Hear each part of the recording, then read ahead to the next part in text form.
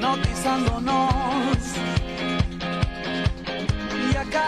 Desde hace rato eh, el tema tránsito es uno de los más importantes para los sunchalenses. Venimos de épocas muy difíciles y lo cierto es que pedíamos, pedía el ciudadano de, de Sunchales justamente un avance y por lo menos en este caso se viene dando.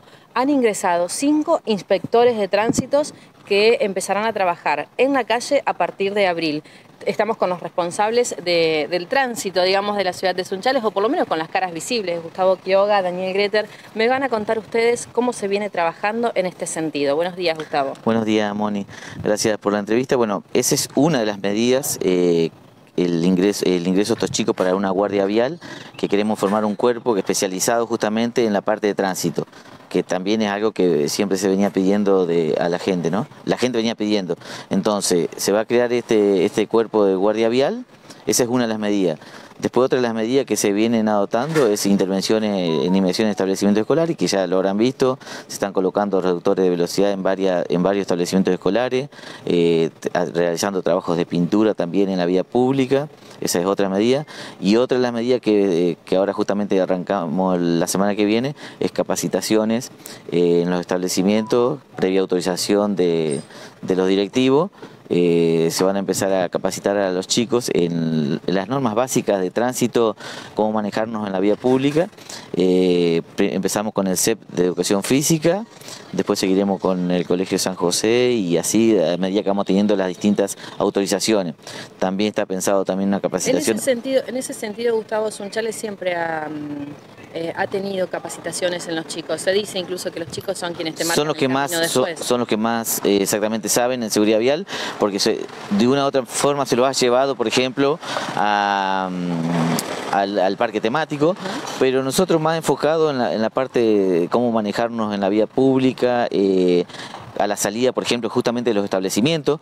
Eh, si tenemos esta infraestructura, por ejemplo, si, sabemos que hay un cruce peatonal, por dónde tiene que circular el, lo, básico, lo, básico, lo, básico. lo necesario para las señales, las, las, señales básicas, no, no le vamos a enseñar eh, los cientos de, señales de tránsito que hay, sino solamente las que tienen ellos en las inmediaciones de los establecimientos escolares o de los clubes y, que, y que la respetan, ¿no? Perfecto. Daniel, te toca ingresar a a la que es seguridad vial, en lo que decíamos hace un ratito, en épocas muy difíciles para, la sociedad sunchalense. Vas a tener a cargo todo lo que tiene que ver con esta nueva división, con los inspectores de tránsito que vamos a tener. Bueno, esta gente va a realizar un, trabajo netamente de control de tránsito eh, en, en la ciudad, lo cual va a aliviar también el trabajo de guardia urbana, que hoy está funciones de tránsito, de seguridad, así que nos va a aliviar también con ese tema de la Guardia Urbana, con el cuidado de las escuelas, las salidas e ingresos de las escuelas, que hoy se empezó a trabajar ya de que comenzaron las clases en todas las escuelas, estamos yendo cuando ingresan y a la salida, en los jardines, eh, y vamos a continuar trabajando, digamos, en ese sentido, por eso la municipalidad, digamos, adquirió el compromiso de contratar a estos chicos, porque se vio la necesidad de que era el momento, que la, sociedad lo estaba pidiendo, de ¿cómo armar esta guardia vial era, una necesidad a raíz de los hechos. Separemos y, perdón, eh, para que la gente lo comprenda. Una cosa es la, la GUS y otra cosa van a ser estos inspectores. Ellos tendrán algunos otros poderes que el resto de los chicos no, como para poder definirlo de alguna manera. No, van a cumplir, eh, estos chicos, estos cinco chicos, van a ser guardia vial, van a cumplir funciones de control de tránsito nada más. La Guardia Urbana va a seguir cumpliendo funciones de control de tránsito y también va a continuar abocada al tema de seguridad, de patrullajes de seguridad que, bueno, nunca se dejaron de hacer, pero a veces la carga de tarea hace que todo trabajo que uno eh, se resienta quizás de alguna forma. ¿Cuál es la diferencia entre estas cinco personas que se están capacitando ahora, que llegarán a la calle en abril, con el resto de los chicos? Van a cumplir funciones netamente de tránsito, para la cual se están capacitando a través de la Ley Nacional de Tránsito, de la Ley Provincial de Tránsito y la normativa local. Van a estar, yo decía recién, hasta el primero de abril, lo conversábamos hace un ratito fuera de la nota, recién ahí llegarán a la calle. Exactamente, recién en, esos eh, primeros días de abril van a llegar a la calle, quizás algunos días antes los vean, pero como una parte de la capacitación van a estar acompañados por guardias de tránsito más antiguos, con mucha experiencia y quizás lo vean, pero no cumpliendo funciones netamente de tránsito.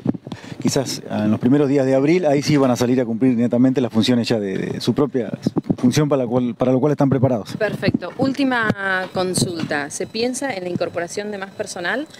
Eh, primero todo, ahora van a estar estos cinco chicos sumados a, otro grupo de, de, gente que era de tránsito, eh, van a ser en total eh, nueve personas y después se verá, de acuerdo a las necesidades y eso lo, eso lo vamos evaluando a medida que, que se ponga la puesta en marcha de este equipo, ¿no? Gracias. No, gracias a usted. Bueno, bueno. Ahí estaba entonces, te pasamos en limpio porque ingresaron cinco agentes, te los mostrábamos, te mostrábamos cómo se trabaja en la capacitación de, mm, este personal que sin duda viene a reforzar para el control del tránsito. Yo sostengo, y si me permiten ustedes que están escuchando del otro lado, que la responsabilidad del tránsito es de cada uno de nosotros.